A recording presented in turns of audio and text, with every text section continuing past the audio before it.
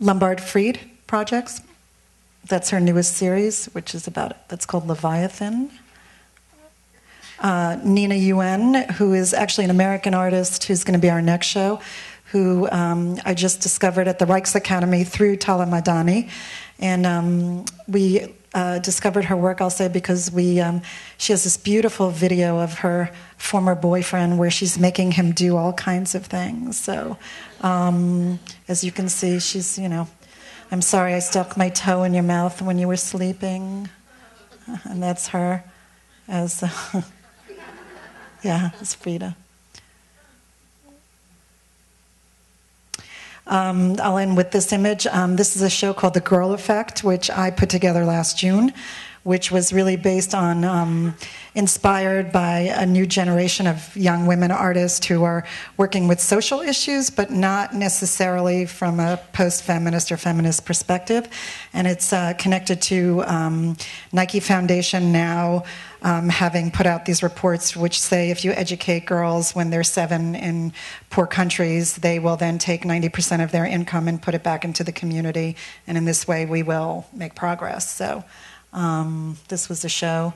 Yara El Sherbini, who's a young artist from London, Anna Pravatsky, who did a bee project. Um, you could put bee, you know, the bees are disappearing, and she created a program where you can put away honey in safes and banks an Israeli artist um, who did a piece of Pippi Longstockings trying to push over the wall in Ramallah. Okay, so um, save your questions. I'm sure you all have them, and let's hear Robin's um, presentation. I'll just run really quickly through a show that uh, I curated that just closed in January, and I thought it would be an interesting case study in terms of how you find artists, um, emerging versus established artists, and um, yeah, those kinds of questions about representation. So eh, I'm going to really speed through it. But it was a show that um, that I worked on in St. Louis, and it um, grew out of my work on the current series. And um, they decided to build a new building at the museum and to not really invest in any big exhibition projects. And so I left and took it to San Diego. So this either I did the show in San Diego, but it really is kind of a summary of, of the project series in St. Louis. Not every artist in the show was part of that, but many of them were. And it was a case of wanting to keep working with them and to work with them thematically. So I did the show about the influence of architecture on, on visual art. So one artist is Michael Borremans, who's Belgian, and he shows at with David's Zwirner Gallery, and I got to know him and show him and a lot of other artists because when I was working on my dissertation, um, I was researching Gordon Matta Clark, and David Zwirner had the estate, and so I was really hanging out there doing historical research, and then I got to know all of his artists, and so they popped up in a lot of exhibitions. So I'll just scroll through Borremans, brilliant painter, I think. I'd love to talk about this work, but I'm not going to. Okay. Um, well, okay. I'll go. I'll go more slowly. We don't have time. Uh, Matthew Buckingham was a Freund Fellow. Um, that's how I got to know him um, at Washington University. And He's a he's a brilliant artist who works um, kind of archaeologically and ethnographically. He'll go to a place, he'll do a residency, and then he'll make work in response to it. And this is a piece he did about Samuel Johnson writing the first English language dictionary, kind of in his garret in London uh, Los Carpinteros. I mostly included them because they were in the collection in San Diego, and I needed to have some local relevance to to the museum. I couldn't make it completely a St. Louis show in, in San Diego, so the, the, these drawings are in the museum's collection.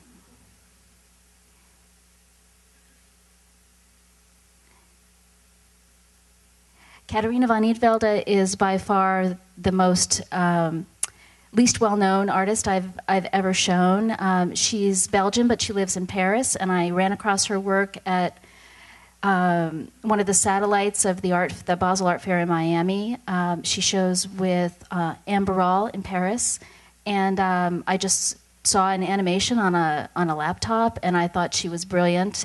Um, she this doesn't do justice, but she she makes wonderful collage drawings and then she animates them into wonderful films. and um, she's only ever shown in this country with me, as far as I know. Um, I, sh- I showed a video of hers in St. Louis, and then she made a suite of new drawings and two new animations that were in this show called Automatic Cities. And I recommend her to you. She's she's really smart, and the work is wonderful and incredibly inexpensive. Jakob Kolding um, shows with Team, and um, I saw his work in Copenhagen. And I was invited um, to do a kind of curatorial visit by the Danish Arts Council, which is it's a great program, and I got to know a number of Danish artists. So you'll see you'll see a lot of Zwirner artists and a lot of Danish artists in my shows, just because of that's how I got to know them. Jakob is, um, although he's Danish, he's based in Berlin. Like a lot of artists, he goes there because, um, well, Berlin is kind of like New York for the Danes anyway. But in addition to that, um, there's cheap, big studio space.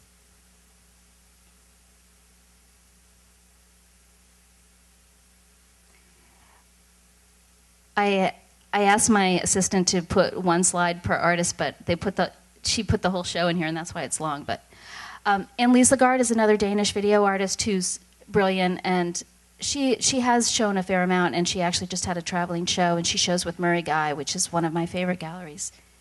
This piece I showed at the Pulitzer Foundation projected to the exterior of their Tadao Ando building, and that was a really beautiful nighttime presentation. And they had a Dan Flavin show inside, so it was this kind of relationship of different artists working with light as a medium.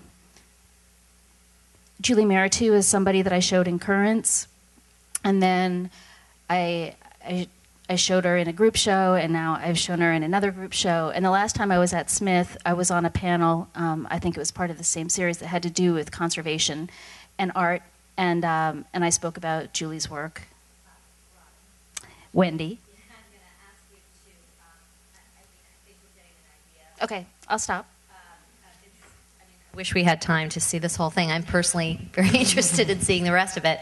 Um, but I want to address, because we are a panel about Sure, the business yeah, of yeah. art, a little bit of nuts and bolts um, to go back um, and ask um, Lea to just take an example of one of the artists that, you know, you can pick whichever one of the group you showed us, and just um, talk to us about um, how long you've been working with that artist. Why don't you talk about Tala Madani Sure, and how you price the work? Has the pricing gone up since Sure. you've represented her? Like, really give us Sure. nuts and bolts about the business aspect. Um, we don't have contracts with our artists, um, although I recently had a research contracts because um, I'm kind of worried artists will leave me. I've had one artist leave me after I've actually put in quite a bit of time and money into them, so I have the opposite perspective. Um, Tala was a very curious case. We don't usually go to MFA programs um, to rape and pillage like what has been happening in the last 10 years. Um, but we did go up to Yale and uh, we did find Tala there in the studios.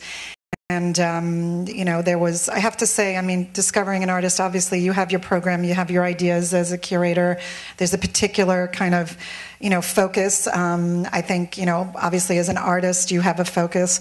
Um, and so we have criteria in terms of what our instincts are and what we want to show. And when we sort of go, we, we stray from the path, you know, the collectors know it, the critics know it. Um, when we try to be too trendy or too markety.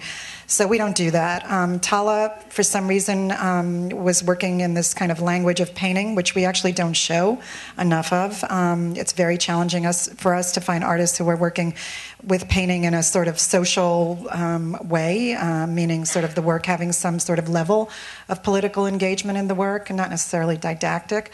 Um, but Tala had it. I mean, she was coming from this Iranian American context, also having studied with people like Deb Kass and, and Peter Halley. So, you know, the work was about American painting, about Kippenberger, about um, you know, her issues, obviously, as a woman coming from her father still being in Iran, coming from that context. Um, and uh, we brought the work to the gallery, did not say representation, but sat with the work. Um, and, you know, the longer we sat with it in the gallery and began to sort of show people, the more we became convinced she was this extraordinary artist. And she, at the same time, I must say, was an ambitious artist. She was going for grants, she got into the Rijks, um, she was pushing herself um, in terms of her own career. And we actually, we've, we've had great experiences and some bad experiences, mostly with bad boys, actually, not bad girls. But, um, you know, we want to work with artists who are going to be a part of a team in a relationship. And um, we know that right away when somebody's going to be a diva or just not secure enough about their work. Um, So, how many years have you represented her? since 2000, end of 2005. And, And how it- many it- shows has she had? Three. We just opened her third show. I would say from uh, now having the gallery for almost 15 years, it takes about five years, I think, for an emerging artist um, to hit a point in their career where the curators are beginning to see the work, the critics are writing about the work, the patrons are buying the work. Um, it really is a long process, and um, that allows for maybe three shows or two and a half shows. You show an artist one and a half to two years um, out, um, and uh, you know, I think. You know, there's, uh, I mean, how do we know what to buy for our clothes? I mean, that's such an interesting question in terms of like how you discover an artist. What but- are the prices of her paintings, and have they gone up? prices have gone up um, and you know we don't you know again what how you price the work yes when you're working with an installation artist or even photography it's a very costly enterprise and production just go into that but we, we really research a lot of what's you know what I mean, at this point, we kind of know, you know, where an artist should be. Um, we try not to overprice the work of a young artist because we want it to go into collections. Um, certain artists want their prices very high, certain male artists coming from certain countries, and we try to make it sort of, you know, a reasonable amount. Um, I would say it's it's you know we we've never priced work to add in discounts. We do give discounts all the time because there are patrons who do follow you, or public institutions, um, and so many galleries will actually add a ten to twenty percent on top of a work. We try not to do that, and we we stick by you know our pricing. Um, but it's it's very challenging, and smart artists like Tala actually don't want their work to be priced too high. Her smaller works have gone from, I would say, about four thousand dollars to now ten in um, the last three years. The big paintings have gone from about eighteen to forty-four. Um, she's not a productive. She's not putting out generating work all the time. She has one other gallery now in London um, which was, you know, very pursued her and us very aggressively. Um, and uh, we're considered her primary gallery, which is a difference. I mean, probably as artists, you know, it's good to have a gallery that you trust and respect and stick with in terms of getting you shows. But many artists, of course, have lots of galleries. Um, and many artists these days are representing themselves. I mean, if they can develop a studio practice where they can manage, you know, all the things that I think. Um, uh, the other, uh, I was impressed with the list of the, of the, artists before in terms of all the things that go into, um, you know, their daily work. We, we, you know, that's our list as well. So, um, but Tala, it's it's a very, I mean, we're we're doing everything we can, and, and primarily we're moving now as well to to please our artists to have a more public space, and of course it's going to cost us more. So, you know, the prices have to be you know, the, I mean, you can't, at, at, a certain point in your career, you can't be cheap either. You can increase your prices because the value of the work obviously goes up with your maturity, I think, to some degree. But I think a lot of artists who were hyped, young artists who went from university shows to galleries to $60,000 in the last five years, which has been pretty ridiculous, even for me. Um, I think are now experiencing, you know, uh, you know, a, a, post. I mean, you know, a, a drop that's. Um, you know, I think obviously a settling of, of the market, but I'm sure quite shocking. I tell all my artists to buy real estate and to get jobs teaching or whatever they need to do, um, you know, to keep at it. Um, and uh, you know, I think it's a very subjective profession and, and the market changes and shifts and, and you just hope as a dealer and um, and you deal with people. I would say I'm, I'm, I'm sort of disappointed that Roberta isn't here because um, you know I think you know it was interesting this morning because kind of the critics and the curators didn't get any you know any any um, criticism, but certainly you know Roberta writing a review. Actually, it's not so much these days, but you know she's a star maker um, to some degree. You know everybody reads the Times, and I have to deal with that as well.